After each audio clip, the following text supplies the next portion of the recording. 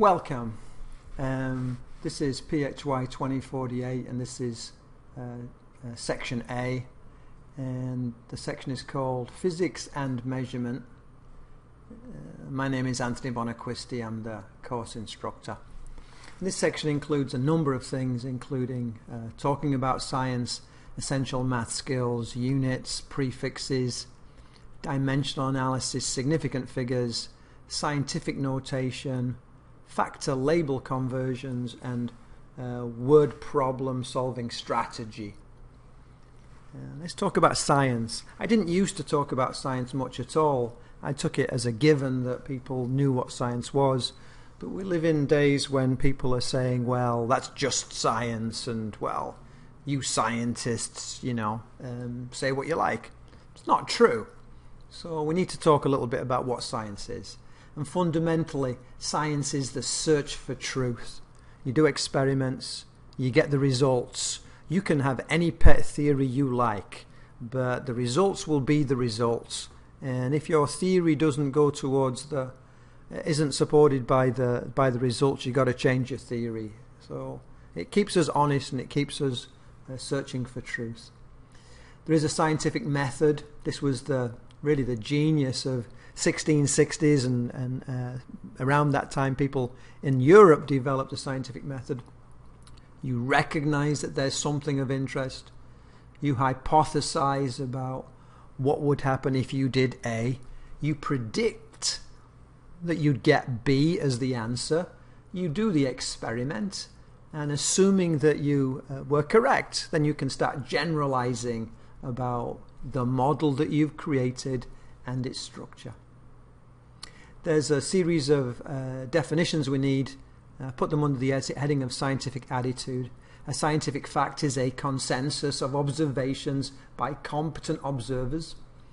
Uh, if you ask me about uh, an observation about a region of science that I'm not trained in, say weather systems, um, my observations would be quite naive if you asked a competent specialist in that area, uh, you'd probably get more detailed and more insightful commentary.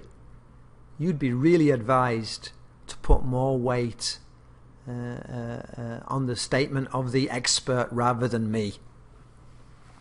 So different people have different amounts of uh, sway in what they say because they have expertise. Expertise is good. Um, scientific hypothesis is a testable, educated guess. We have a model. If we do A, the model predicts we get B.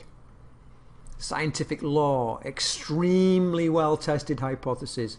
Man, every time I do A, I get B. Every time you do A, you get B. Every time 20 other people do A, they get B. So we can say that um, there's a law. When you do A, you get B.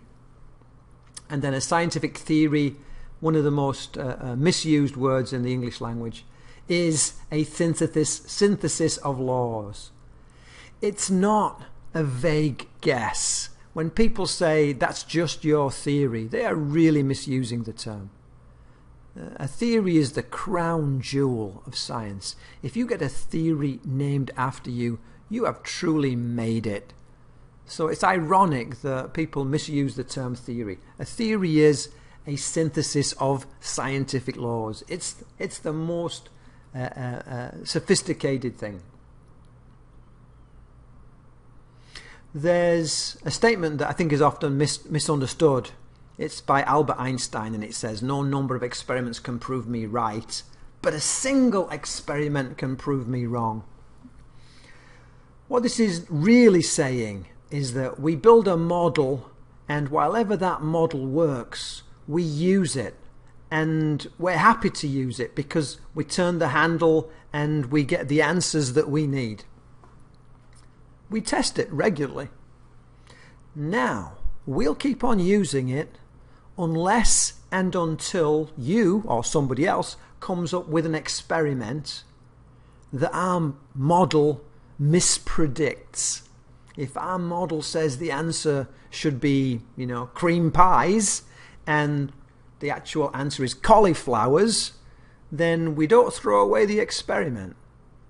We refine our model and sometimes we have to rebuild our model and make it uh, different. We're not saying we don't know much because we're not allowing something to be proved.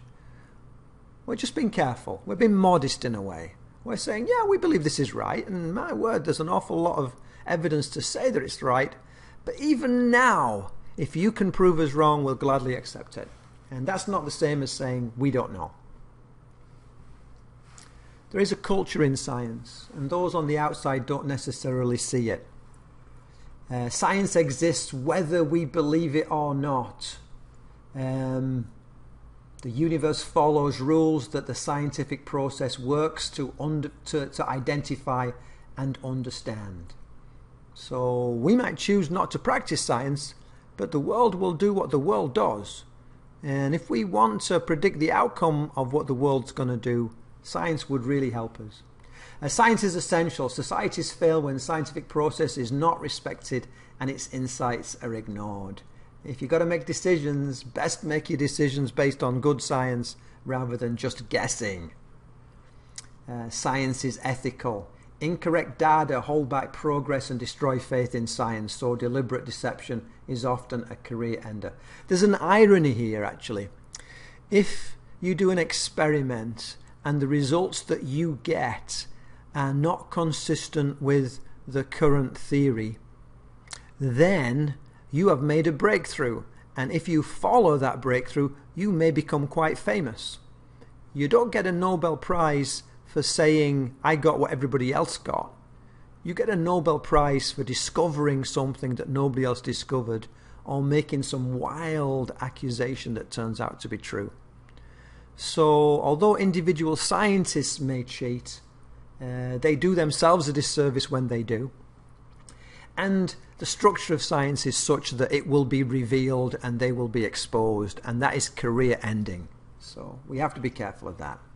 Science is based on dispassionate observation and testing. Uh, you can believe an opinion, you can have an opinion, but it is no value until it's supported by an experiment. Um, this is not to say that scientists are unfeeling. Uh, I've seen scientists really argue. Uh, but the fact of the matter is, although they'll argue before the experiment is done, once the experiment's done, they both accept the outcome. Um, so it, it is very self regulating. Science is competitive. The public nature of science means that it is easy to compare people and it's easy for people to compete. If you perform better, you are rewarded more.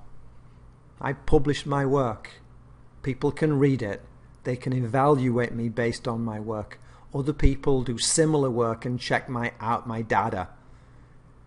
If my work is not good, if it misses things, then it's shown. It's very public.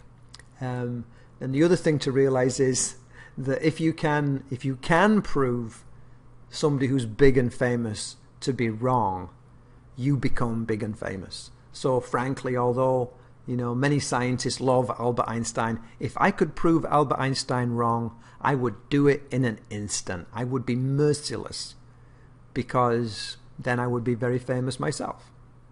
Um, science is slow. The community makes steady progress based upon peer reviewed work press releases are a new and problematic idea because they short circuit the tried and tested method. So uh, the scientific revolution, the basically the uh, uh, during about the time of the Enlightenment, they basically said, let's have an idea, let's build an apparatus and do an experiment, let's write down our experiment in a consistent way. And then what happens is it goes to a publisher, and then the publisher sends that paper out for review, and the reviewers feedback towards the information. That could take hmm, uh, at least a year, if not two years. The work is published, and somebody else sees it. They have an idea, and they do an experiment. they then send it off to the publisher who has it reviewed and publishes it. I then see it. I have an idea and I do an experiment. I write it up and send it to a publisher who has it reviewed and it is published. So if we said one year for that, after two years, my paper is published. After another two years, there's been a response from the community in print. After another two years, I've responded to them in print.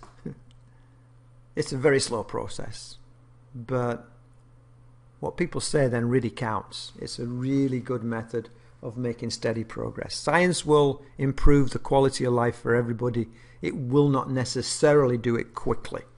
And we seem to be hung up on the idea of doing it quickly these days. Recalling the notes, true or false? Science is a search for truth. Yeah, that's true. That's very true. Which is which uh, is the term for a science, a synthesis of scientific laws? Well, that would be a theory.